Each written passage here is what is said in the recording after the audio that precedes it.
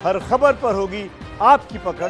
Download कीजिए ABP live app इस वक्त एक बड़ी खबर आ रही, बड़ी खबर फ्रांस से जुड़ी हुई है। फ्रांस ने देश में अपने हेल्थ इमरजेंसी की घोषणा की है। कोरोना वायरस की वजह से फ्रांस सरकार ने देश में हेल्थ इमरजेंसी की घोषणा कर दी है। ये दूसरी बार हो रहा है जब फ्रांस सरकार ने फ्रांस के भीतर हेल्थ इमरजेंसी घोषित की है। इससे पहले जनवरी महीने में फ्रांस ने हेल्थ इमरजेंसी लगाई थी और उसके बाद अब फिर से अक्टूबर महीने में एक बार फिर से फ्रांस सरकार ने हेल्थ इमरजेंसी की घोषणा कर दी है।